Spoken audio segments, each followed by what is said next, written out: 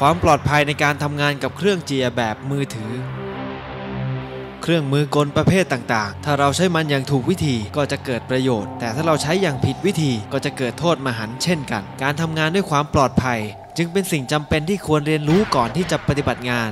โดยเฉพาะการฝึกฝนการใช้งานอย่างถูกวิธี นอกจากชีวิตจะปลอดภัยแล้ว ยังเพิ่มประสิทธิภาพในการทำงานอีกด้วยนะครับ ดังนั้นความรู้และความเข้าใจโดยถ่องแท้ในเครื่องมือที่ตัวท่านเองใช้อยู่เป็นประจำ จึงจะก่อให้เกิดประโยชน์สูงสุดสำหรับเครื่องเจียแบบมือถือ เป็นเครื่องมือกลขนาดเล็ก ที่สามารถเคลื่อนย้ายได้ง่าย มีความคล่องตัวและสะดวกในการใช้งาน จึงมีการนำมาใช้กันอย่างแพร่หลายในทุกๆ หน่วยงาน เราสามารถแบ่งขั้นตอนการทำงานเพื่อความปลอดภัยในการใช้เครื่องเจียเป็น 3 ส่วนใหญ่ ๆ ก็คือ ก่อนปฏิบัติงาน ระหว่างที่ปฏิบัติงานและหลังจากปฏิบัติงาน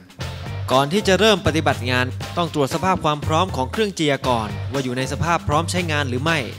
โดยใช้หลักการตรวจสอบดังนี้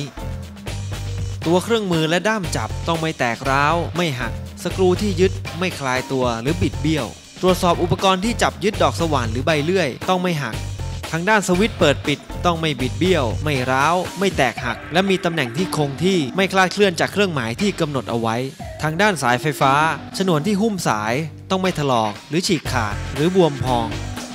ส่วนหินเจรไนต้องไม่ชำรุด ไม่มีรอยแตกร้าวหรือรอยบิ่น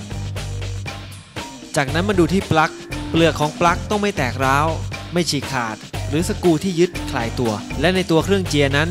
ต้องมีการดป้องกันอันตรายบริเวณที่หมุน หรือส่วนที่พนักงานสัมผัสได้ และกาดต้องไม่ชำรุด เช่น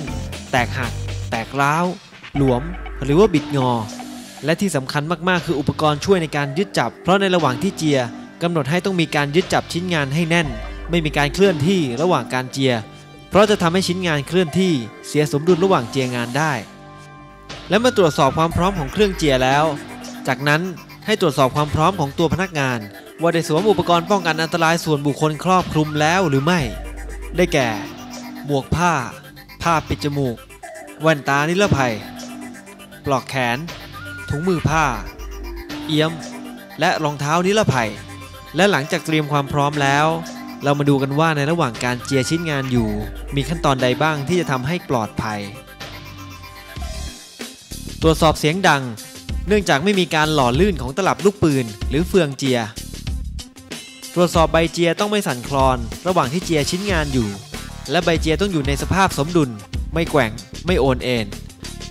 ในระหว่างการทำงาน ต้องระมัดระวังตลอดเวลาที่ใช้งานเครื่องเจีย โดยใช้มือทั้งสองข้าง จับเครื่องเจียให้มั่นคง แล้วปฏิบัติงาน ห้ามใช้เครื่องเจียมือเดียวโดยเด็ดขาดนะครับ และถ้าเกิดสิ่งผิดปกติ ให้หยุดงาน และแจ้งหัวหน้างานโดยทันที เพื่อทำการตรวจสอบและแก้ไขต่อไป อย่าแก้ไขเอง เพราะอาจเกิดอันตรายได้ และหลังจากปฏิบัติงานเสร็จเรียบร้อยแล้ว ก็ปิดสวิตช์และวางเครื่องเจียโดยวางในตำแหน่งที่กำหนดให้ และทำความสะอาดพื้นที่ทำงาน รวมถึงอุปกรณ์อื่น ๆ ที่ใช้ในการเจียหลังจากที่เราได้ศึกษาเรียนรู้แล้ว เรามาดูกรณีการเกิดอุบัติเหตุต่อไปนี้ ว่าเกิดมาจากความผิดพลาดในส่วนใด เราไปชมพร้อม ๆ กันเลยดีกว่าครับ นักงานคนหนึ่งต้องการแก้ไขชิ้นงาน จึงนำชิ้นงานมาเจียในบริเวณที่กำหนด สมัยก่อน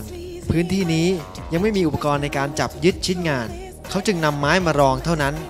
และมืออีกข้างหนึ่งเขาก็จับชิ้นงานเอาไว้ทำให้เหลือมือเพียงข้างเดียว ในการจับเครื่องเจีย และในระหว่างที่เจีย ใบหินเจียก็ไปติดกับชิ้นงานทำให้เกิดแรงอัด และเครื่องเจียก็สะบัดเฉือนเข้าที่ข้อมือ จึงทำให้ได้รับการบาดเจ็บทำแบบนี้มันผิดผิดผิดผิดผิดนะครับ วิธีการปฏิบัติงานที่ถูกต้องก็คือนำชิ้นงานที่ต้องการแก้ไข ไปวางบนจิก หรืออุปกรณ์จับยึดชิ้นงาน จากนั้นก็ทำการเจีย โดยปฏิบัติตาม Safety Working Standard คือต้องจับเครื่องเจียด้วยมือทั้งสองข้าง จึงจะเริ่มเจียชิ้นงานได้ ดีมาก นี่แหละคือวิธีการทำงานที่ปลอดภัย อุบัติเหตุสุดโหดนี้ก็จะไม่เกิดขึ้นแน่นอน ท่านผู้ชมคงเห็นแล้วนะครับ ว่าพนักงานคนนี้ผิดกับข้อปฏิบัติในส่วนใด จนพลาดท่าทำให้ข้อมือเป็นแผลเวอะหวะ มันไม่คุ้มกันเลยใช่ไหมครับจำไว้นะครับ อุบัติเหตุเกิดขึ้นได้ถ้าประมาทโปรดอย่ามองข้ามความปลอดภัย